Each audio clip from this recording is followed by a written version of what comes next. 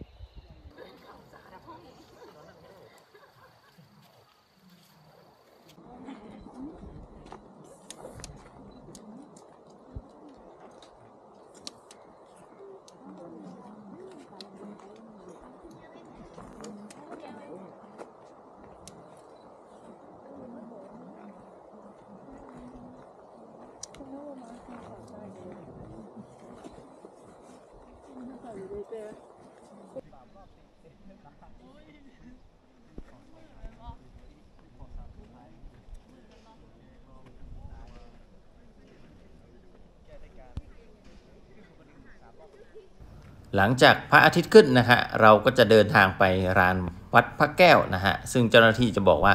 ไม่ต้องเดินกลับทางเดิมนะครับ เพื่อที่จะไปไหว้พระที่ลานพระแก้วนะฮะนะครับอันนี้ก็จะมีเดินนำหน้าผมไปไม่ใช่พระธุดงนะฮะอันนั้นเป็นนักท่องเที่ยวนะฮะใส่เสื้อเหลืองเหมือนกันนี่นะครับก็จะเดินไปที่ลานพระนะครับ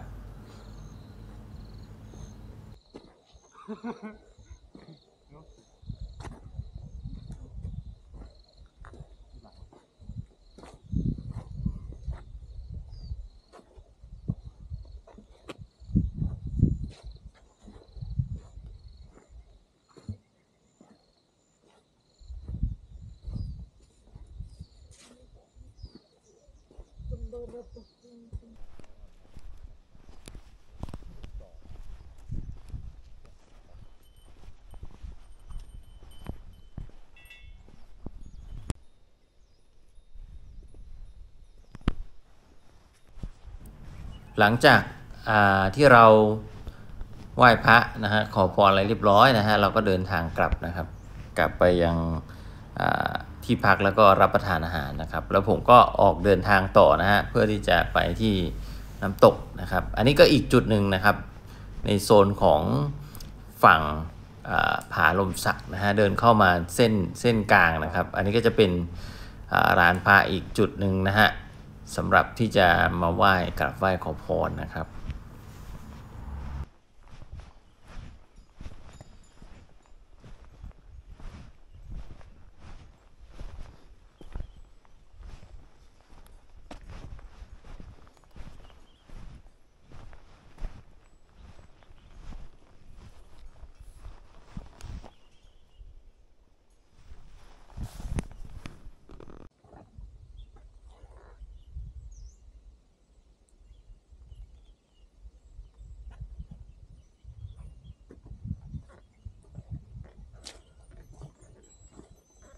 วันนี้ผมจะเดินไป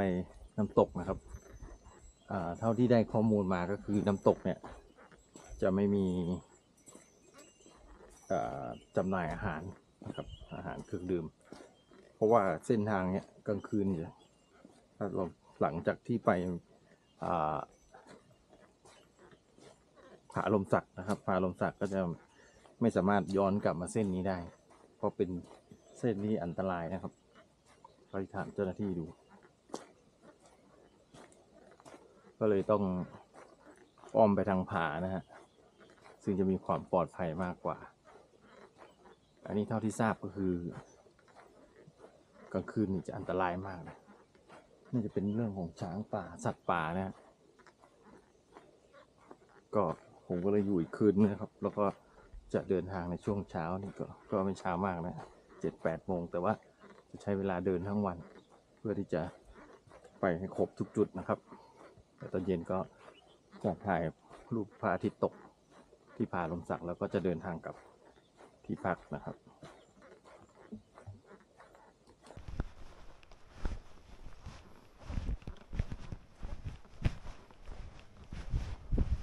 เดี๋ยวเราไปน้ำตก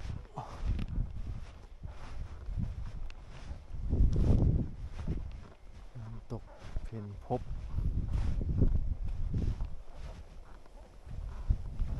เพนพบใหม่ มีเพนพบเพนพบใหม่ ตกเพนพบ น้ำตกทำแก้วไอ้ยถ้ำใหญ่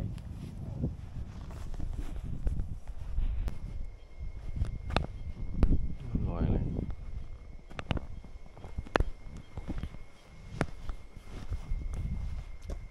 สัตว์ป่า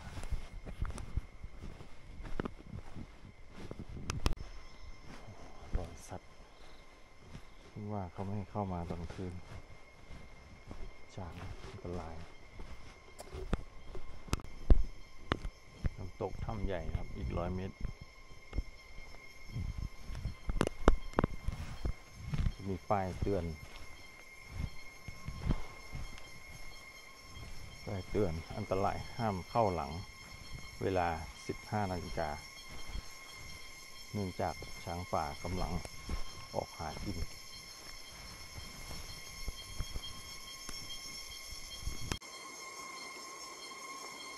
ดี๋ยวเราไปน้ำตกที่แรกของเรานะครับไม่น่าจะมีใครมาเลยเนี่ยเงียบมากเลยคือยิ่งไกลยิ่งสัญญาณโทรศัพท์ยิ่งไม่ค่อยมีนะครับ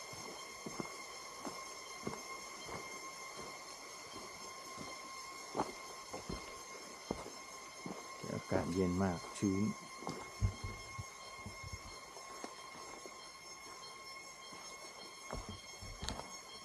เย็นชื้นมากเลย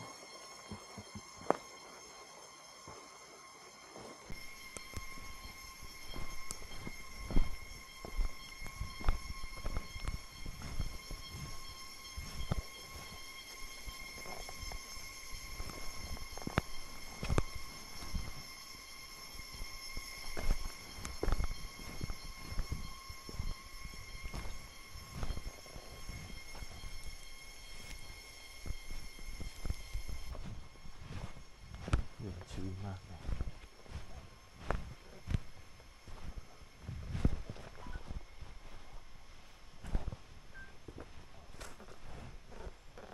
เดี๋ยวเขาก ลัวหินหล่นเอาไม้ค้ำไว้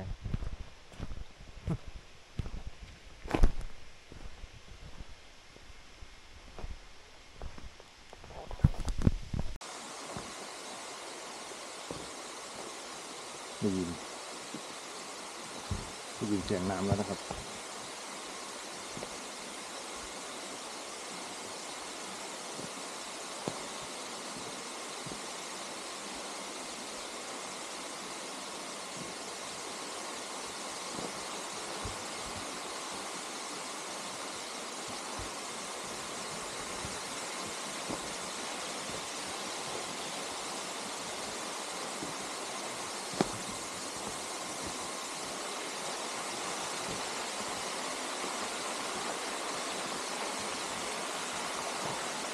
อืมตกเลย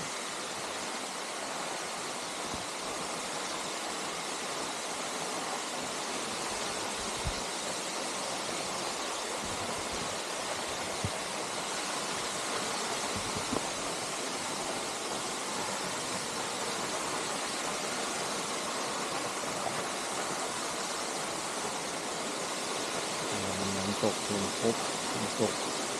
โขนพบน้ำ ตกเห็นพบใหม่ ไปโลกว่าครับสองกิโลไปพบใหม่สองกิโลม่ได้ไกลมาก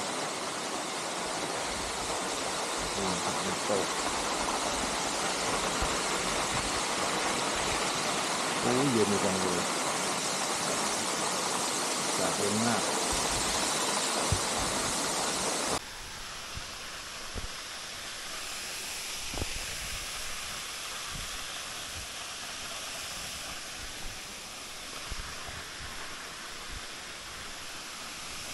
อ่ามีน้ำต กเห็นพบน้ำตกโขนพบน้ำตกเห็นพบใหม่ ไปกิโลกว่าๆนะครับสองกิโลเห็นพบใหม่สองกิโลก็ไม่ได้ไกลมากนี่นะครับน้ำตกโอ้เย็นจังเลยจากเย็นมาก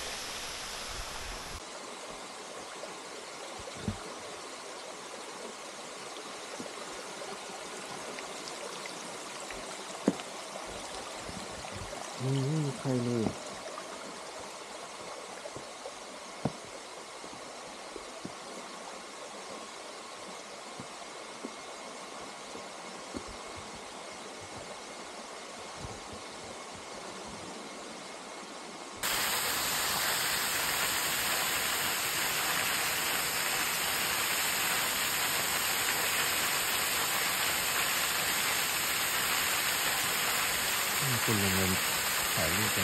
ลยมีค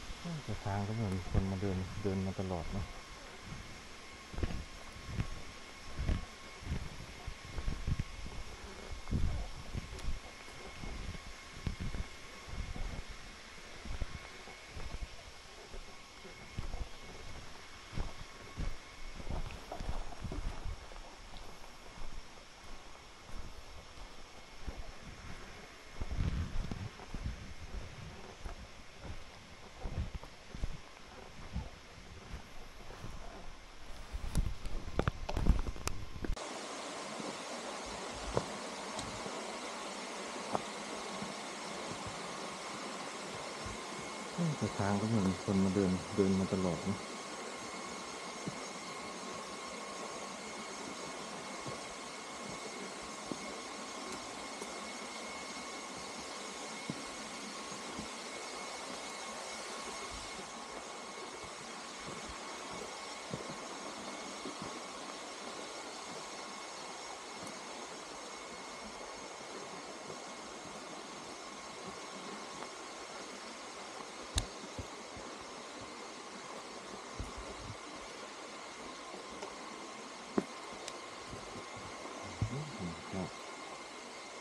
ก็ ฟันแต่งจริงสวย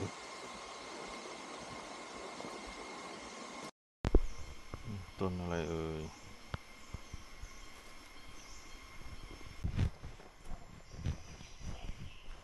โอ้น้ำใสจริง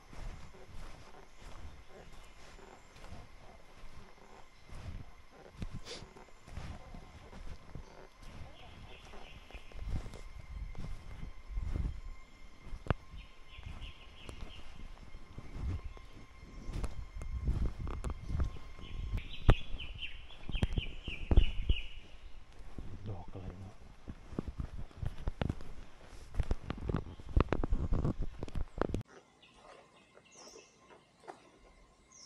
อะ ตอนนี้คือสัญญาณโทรศัพท์นะครับ ตายสนิทนะฮะไม่มีเลยนะครับ ก็ต้องระมัดระวังนะฮะเพราะว่าโดยสัญญาณโทรศัพท์ไม่มีก็เวลามีอะไรก็จะติดต่อใครไม่ได้นะครับ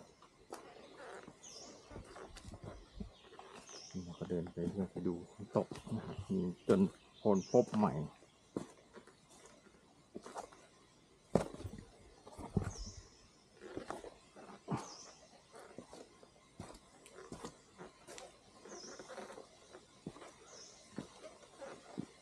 สะพานไม้นะครับลื่นนะครับ ต้องระวัง ไม่ใช่สะพานลักษารสินเอาเป็นมุมเกาะกล้อง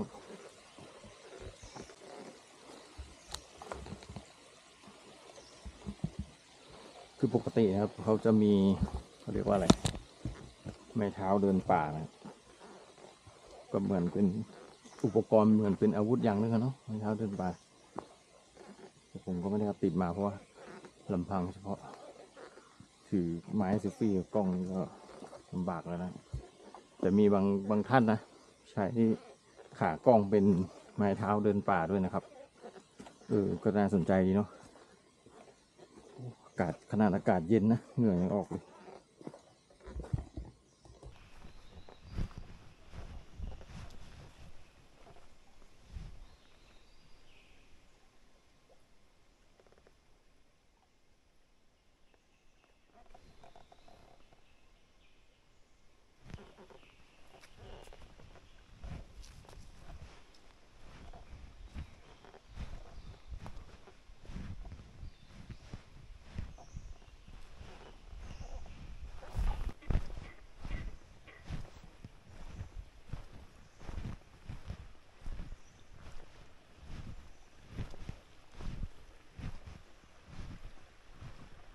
Sayonara.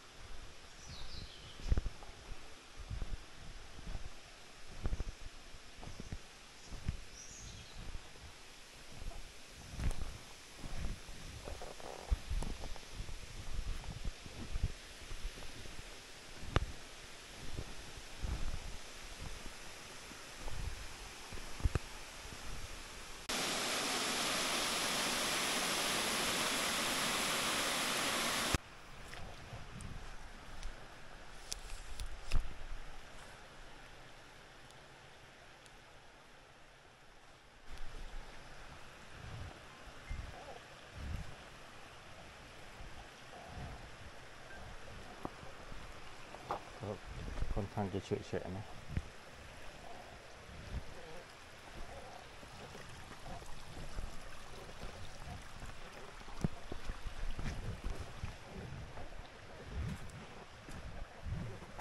ส่วนใหญ่ก็จะมาช่วงช่วงบ่ายกันนะฮะอย่างขึ้นขึ้นมาบนยอดภูเสร็จก็มาเดินน้ำตกนะครับ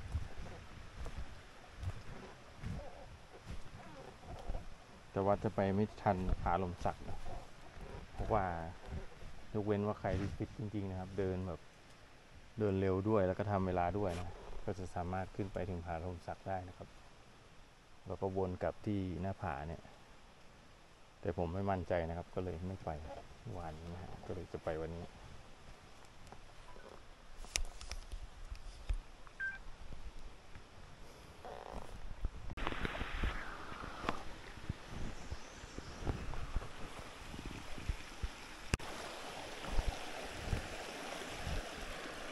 ำใสมาก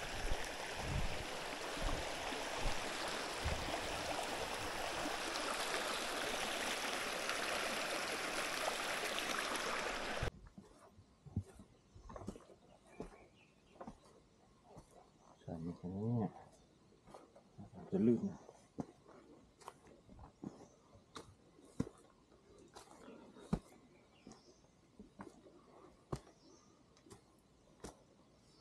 รองเท้านี่สำคัญมากนะครับ ต้อง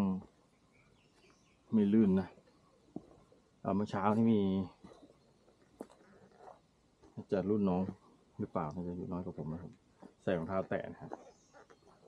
ไม่รู้ว่าเตะหินหรืออะไรหรือเปล่านะเลือด เต็มเท้าเลยนะฮะ คือรองเท้านี่สำคัญมาก มันต้องเซฟอะฮะเซฟคอของผมยังไม่หุ้มข้อนะ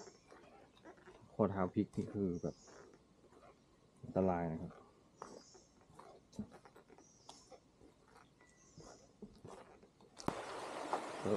ค่อนข้างจะเฉยเฉยๆนะ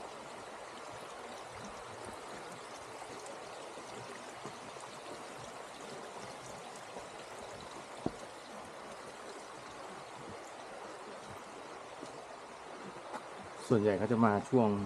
ช่วงบ่ายกันนะฮะขึ้นขึ้นมาบนยอดภูเสร็จก็มาเดินน้ำตกนะครับ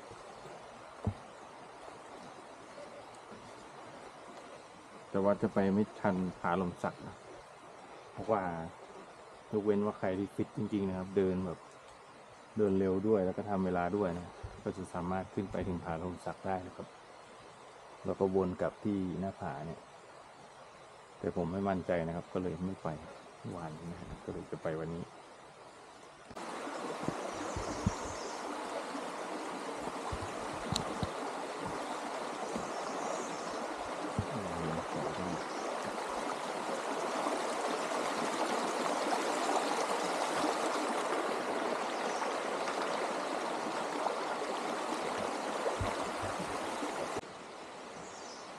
ถึงแล้วนะครับน้ำตกเพนพบ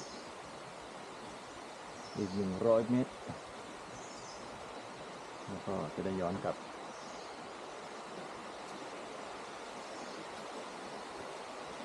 เป็นพบหนึ่งร้อยเมตรมีทางแยก เป็นโผลพบ เป็นพบใหม่อีกแปดร้อยเมตร เอ้ยไม่ใช่ อ่าแปดร้อยยี่สิบเมตรนะครับ ก็ไปไม่ถึงกิโลเนาะ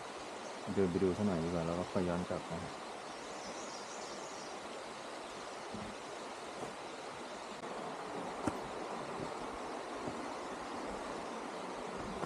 เขียวจี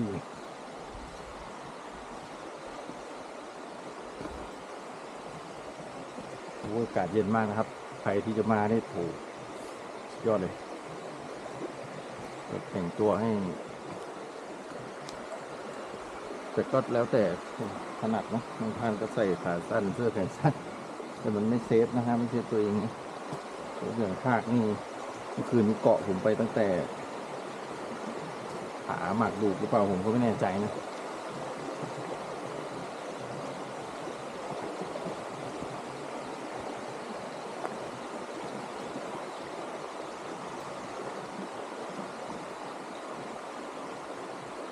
เทนพบใหม่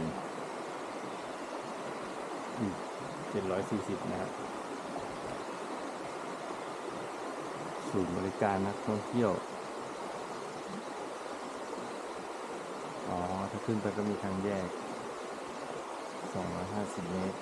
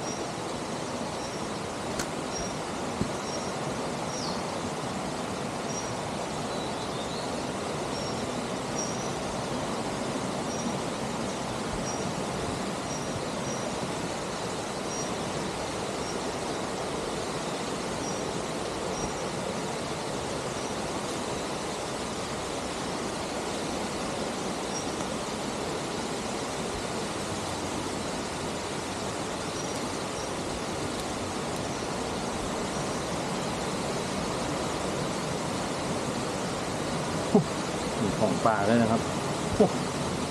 ยางรถง้อเลยยางสยามซึ่งยางสยามนี่เก่ามากเลย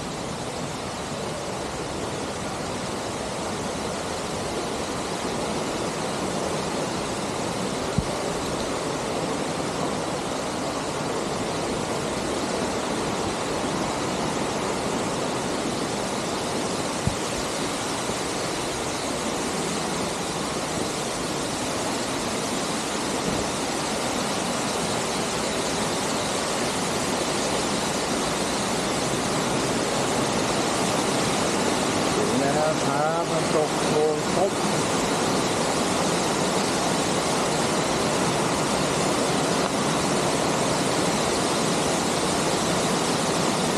ก่อนเดี๋ยวเราจะย้อนกลับนะครับ กลับไป เดิมไปเส้นหลักเพื่อที่จะไปสระอนุดาแล้วก็จะได้เดินทางไปที่ผาลมสักครับน้ำตกนะน้ำตก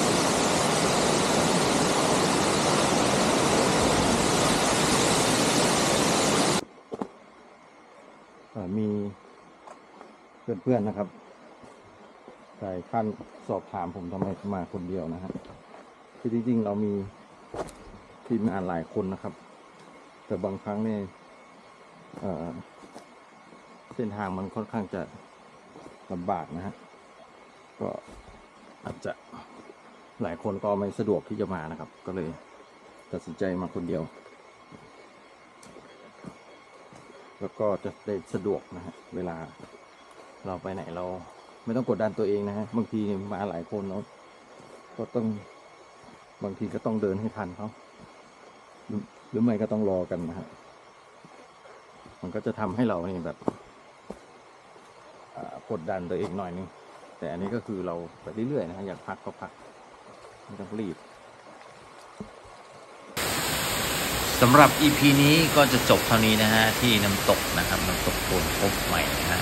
ใครที่ นะครับ สนใจที่จะไปเที่ยวนะฮะก็วางแผนดีๆนะฮะในส่วนของโซนน้ำตกนะฮะต้องเตรียมอาหารเครื่องดื่มให้พร้อมนะครับ แล้วก็สำหรับ EP นี้นะฮะฝากกดไลค์กดแชร์กดติดตามด้วยนะฮะเพื่อที่จะเป็นกำลังใจในการทำคลิปต่อไปนะฮะ